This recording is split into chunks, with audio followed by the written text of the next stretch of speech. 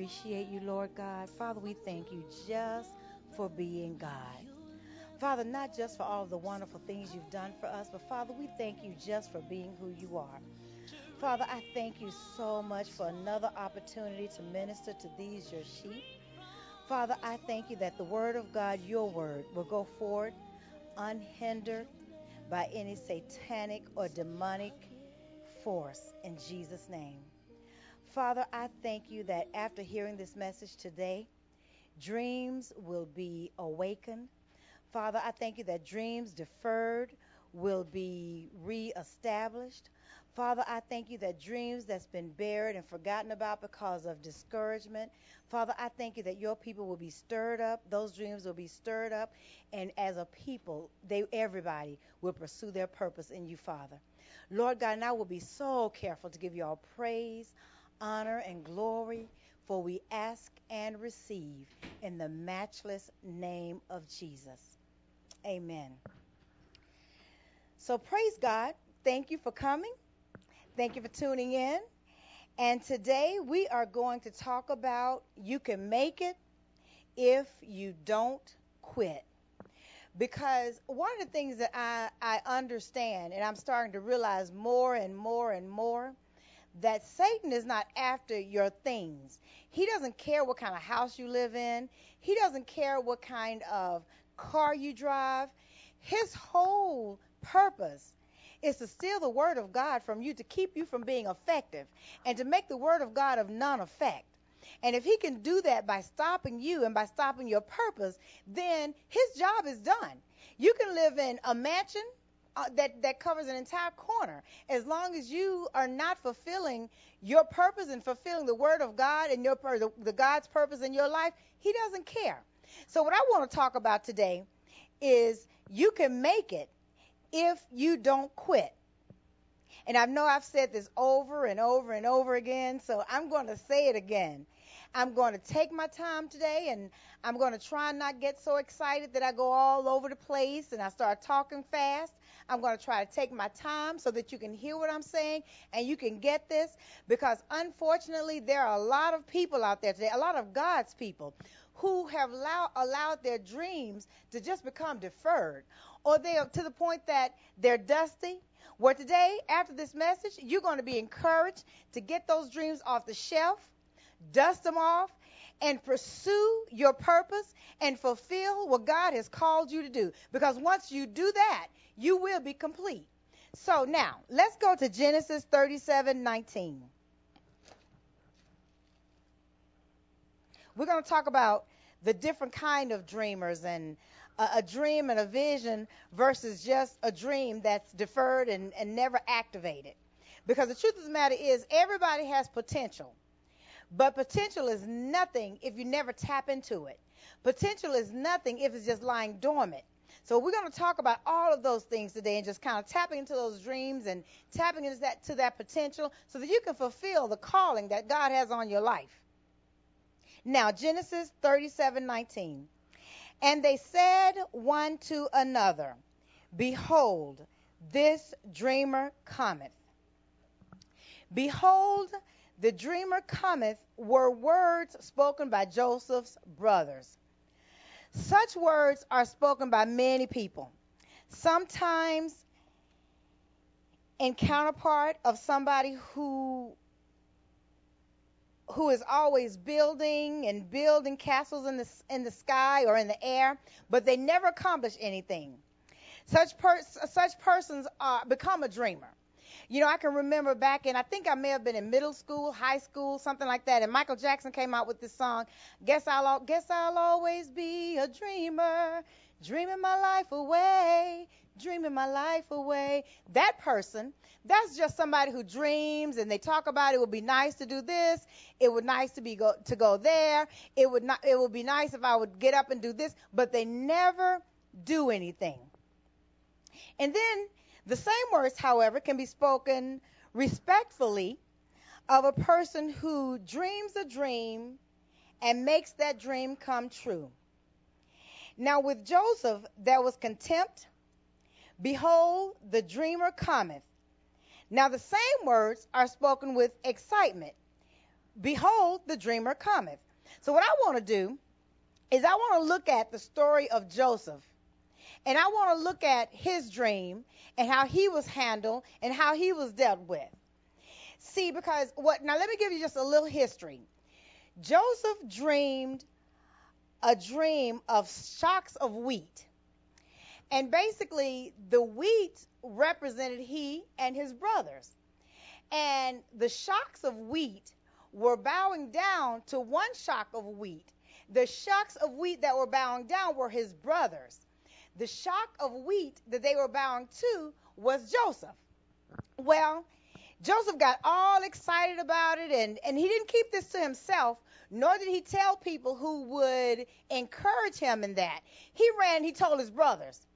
Now, mind you, Joseph was his father's favorite.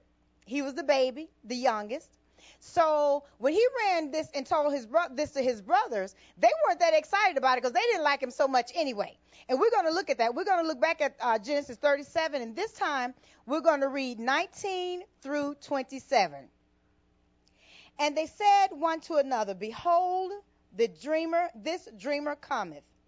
Come now, therefore, and let us slay him, and cast him into some pit, and we will say, Some evil beast hath devoured him and we shall see what will become of his dreams. And Reuben, thank God for Reuben, at least he didn't want to kill him. And Reuben heard it, and he delivered him out of their hands and said, Let us not kill him. And Reuben said unto them, Shed no blood, but cast him into this pit that is in the wilderness, and lay no hands upon him, that he might rid him out of their hands to deliver him to his father again.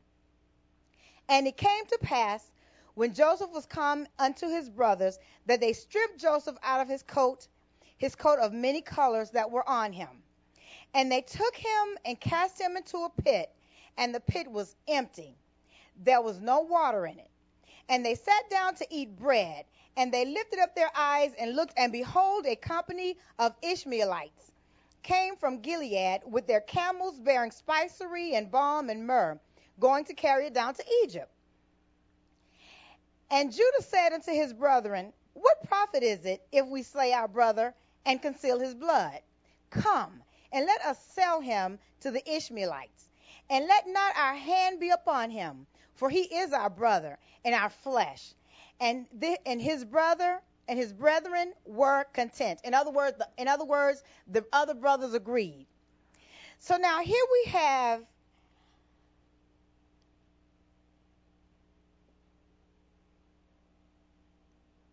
a brother who's just dreaming and excited about his dreams.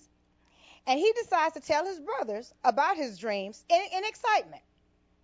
And upon telling them, they grew more and more angry with him. And again, they didn't like him much anyway. And they decided, we're not going to kill him. We're going to throw him into a pit. And then later on, they decided, okay, well, let's get him out of the pit and let's just sell him. And basically, what they did, they sold him into slavery. Now, I here, here here's the thing. I know oftentimes we're told, you know, when you have a dream or when you have a vision, don't tell anybody. I don't agree with that. I think you have to be careful to whom you tell, but I also think that sometimes it's good to face your critic, critics. I think it's good to tell your critics something regarding your dreams because A, you'll learn that nobody can stop your prayers. You'll also learn that if you're in fear, that will help you break out and break through fear because in the end of the day, your fear will destroy whatever your dream is anyway. So you can't allow fear to, to, to, to take root. So regarding your dreams and visions, you know, face your critics, but you also want to talk to people who believe in you. It's good to tell and talk to others who also have visions, who are not in dreams, who would not be jealous, but they're going to pray for you. So basically, they said, his Joseph brother said, we're going to do away with this fellow and this dream he had of our bowing down to him. Now, what does this have to do with today? Well, let's look really quick at Acts chapter 2, and we're going to read verses 17 through 18. Acts chapter 2, verses 17 through 18.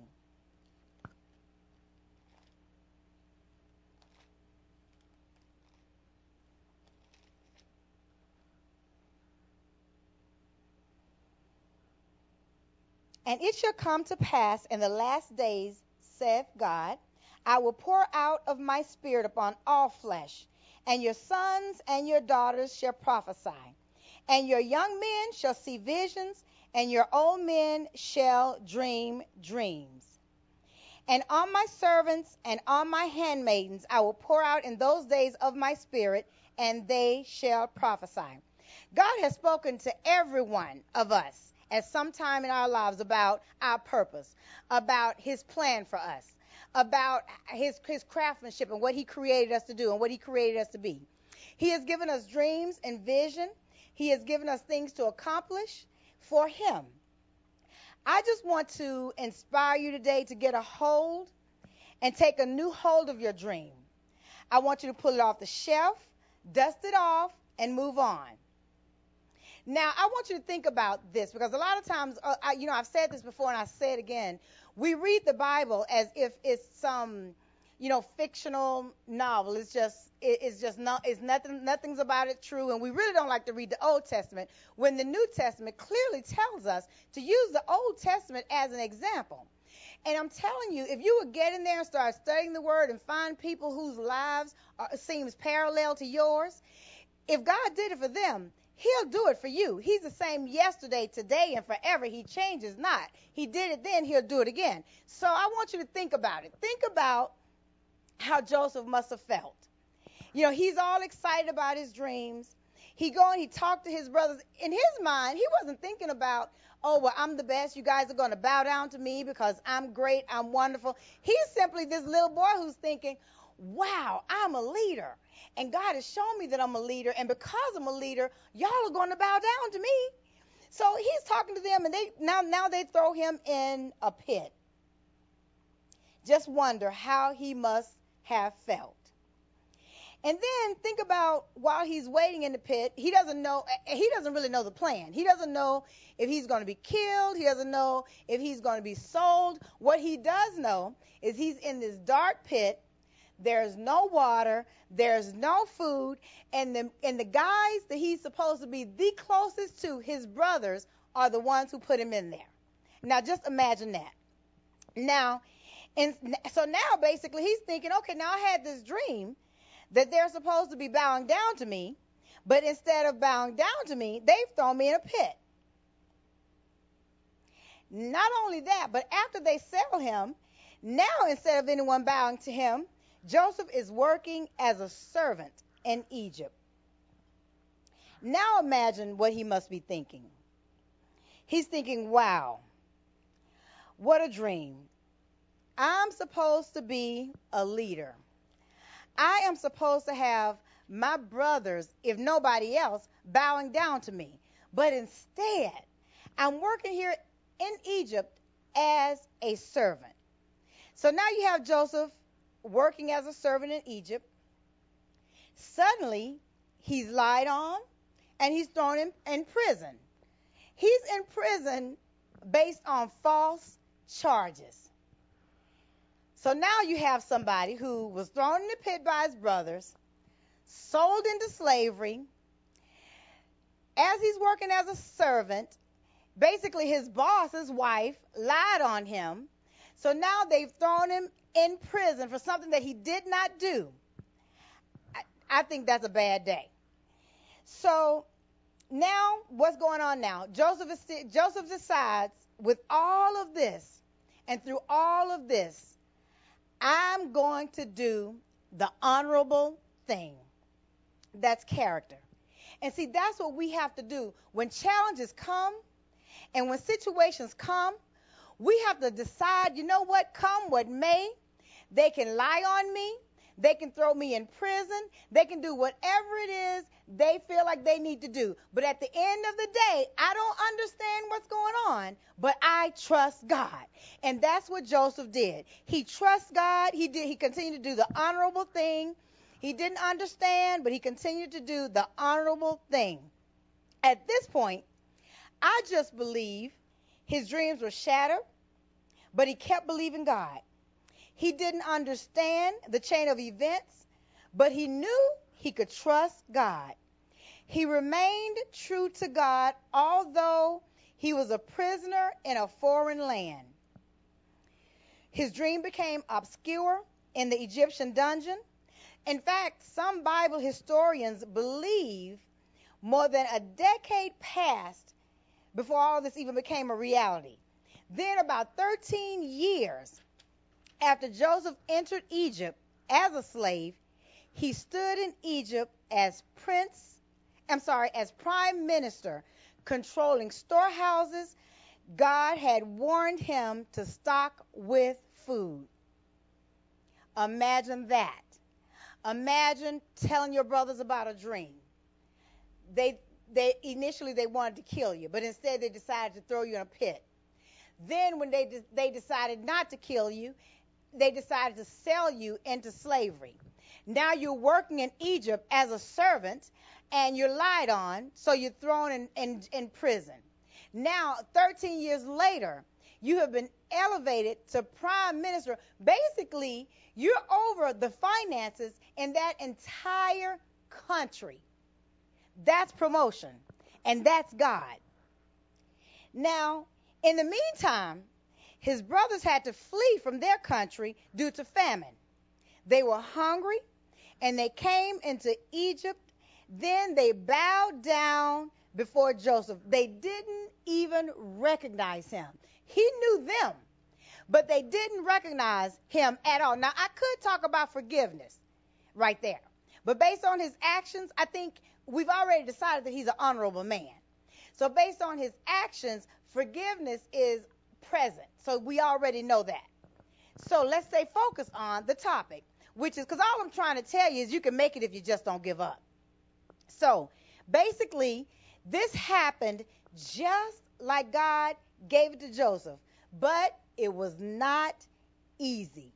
And this is what we must understand. It's not just because God gives you a vision, just because God gives you a dream, that does not mean that Satan is going to back up now and all of his cohorts are going to stop and back up now and say, well, we may as well give up. You know, after all, God gave him a vision, God gave her a dream, and they're going to move on, so we may as well leave them alone. No, that's when everything evil is going to break loose. And that's when you have to know that you're on the right track. And if you just keep going, if you just don't quit, if you don't cave in, give up and quit, you're going to make it. That's all Joseph did. He just remained honorable. He just went through all that. Can you imagine? 13 years after being told that you were people were going to bow down to you, your brothers were going to bow down to you. 13 years passed. You go through a pit, you go through slavery, you go through all of these things and yet you remain honorable because you know in the end you're going to win. So you can't cave in. That's what I'm saying. Just don't quit. If you don't quit, you'll make it. And if you don't quit, you'll win. Joseph could have given up. He could have quit, and the dream would have gone down with him. And then God would have had to look around for someone else to fulfill what he wanted done. So now, how would how would you feel if you know God has called you to do a particular work? Because what, what you got to understand is when God calls you, when God appoints you, when He anoints you to do something, nobody else can do it but you. But if you choose to not move out and do what God has called you to do, He has no choice but to choose somebody else. And I just believe that if you sit around and you don't take hold of your dreams and you don't execute your vision and you don't execute the plan, I believe that when God selects somebody else and you see somebody else functioning in the office that you were called to function in, I think that you will know it. I think that you would not be able to deny that's what I was called to do. And I didn't do it, and now God has had to call somebody else. But what did you do? I don't know. Maybe you got caught up in all the advice of people who care about you. Because see, every time somebody doesn't agree with you, doesn't mean that they're being a critic. It doesn't mean that they are they you know that they they're dis, they're jealous or they they just want to discourage you. Sometimes they just don't know any better. I, I had somebody recently tell me, well, you know, Veda, and and you have to understand and see the perspective that a person is talking to you from. And this individual was talking to me from the perspective of having known me in corporate America.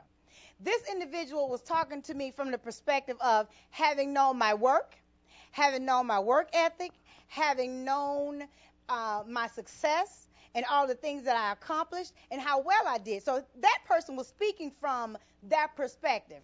So they could not relate or understand, okay, well, you're doing this, maybe, you know, just maybe you need to do something else, or maybe you need to do this, and then kind of. But see, what people don't understand, ministry is not a career move. Ministry is a this is what God has called me to do move. So my response was in love because I knew I knew the person's heart. I knew exactly where they were coming from, and I knew what they were trying to do. They they feel like I had all these talents that were allowing to go to waste when I could be making a whole lot of money. So my response was, you know, I understand what you're saying, and I even heard you when you said this, and I and I and I get that. But my ministry is doing exactly what it's supposed to do. I'm not discouraged. I'm not upset. I'm, I don't feel like at this point I'm, there should be billions and billions and billions. I am fine. It's doing exactly what it's supposed to do, and I and I'm good with that. I don't despise small beginnings because I know the latter shall be great. And that's the thing about doing the honorable thing. See, when you're doing what God has called you to do, what the, the things around you, it doesn't matter. And I told this person, I said, here's the thing. I've known for a long time what God what God has appointed me to do. I've known for a long time my calling in life. I just know that this time God was ready for me to put legs to this vision and move it. And so it was time for me to start executing that plan, and I could not delay that. I could not, I'm not even sure that I hadn't already delayed it. So I just explained to them. I said, so I I understand what you're saying. I understand where exactly where you're coming from, and I hear your heart in this. But you trust me. I I got this. I I know exactly what God has called me to do, and I don't doubt that.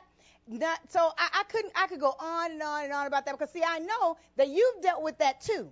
I know that you've had people to come to you and say, well, you know, you have this degree, you have that degree, you function in that office, you function at that career, you've done well with this, you've done well with this. Are you sure? Well, see, that's when you got to know. Oh, I'm sure. I know what God has called me to do. So it doesn't matter. Say what you want to say. Do what you want to do. You know, oftentimes we get so caught up in day to day living. We get so caught up in our, in whether it's in corporate, and I have nothing against corporate. I have nothing against anybody's career choice. But you cannot allow that to separate you from the love of God. You cannot allow that to separate you from your time with God. You cannot allow that to separate you from your purpose and your calling and your vision and what God has specifically chosen for you to do. You just can't do it. You've got to step out and you've got to move on and you've got to do what God is calling you to do. That's why so many people are just miserable because they have these dreams. The dreams are deferred. They don't know what to do. They're getting discouraged. They're, they're, they're feeling downtrodden. They don't know which way to turn. Well, I'm telling you, if you don't quit, you're going to win. All you have to do, get that dream, get that vision off the shelf, dust it off, and execute the plan. God has already made the plan. All you got to do is follow the plan, follow the blueprint. I said all that to say don't give up on your dream. Now let's turn to Habakkuk chapter 2, and we're going to read verses 2 and 3.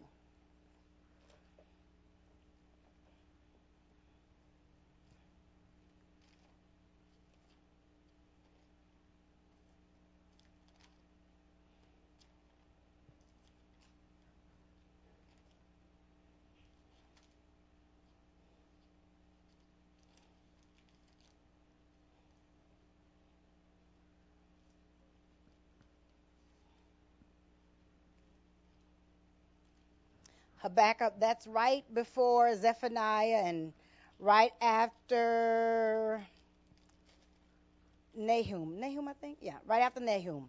Or just go to the table of contents.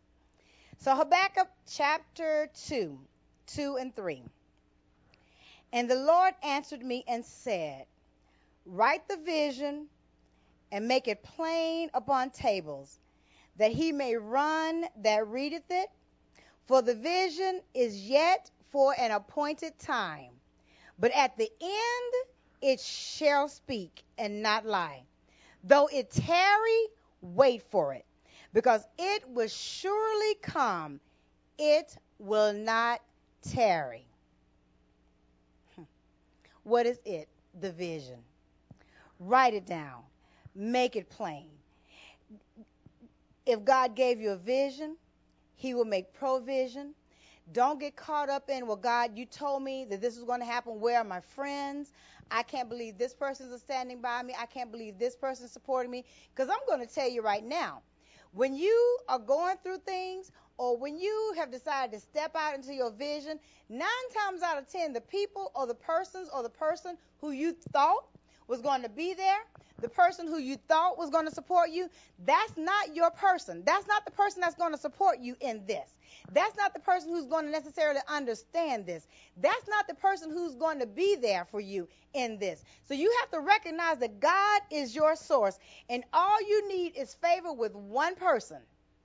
And because one word from God can change a whole situation, one person, one person, you only need one person, and God knows who that is. So, see, you worrying about the wrong thing. All you got to do is focus on the vision, focus on the purpose, focus on the dream, focus on what direction in which you should be moving, and do that. And as you step out, you know how the Bible talks about the Word of God being a lamp unto my feet and a light unto my path? I see that as this. As long as you're standing still, you have a lamp right around your feet. And you don't really need a whole lot of light. All you need to do is see right where you're standing. Well, guess what?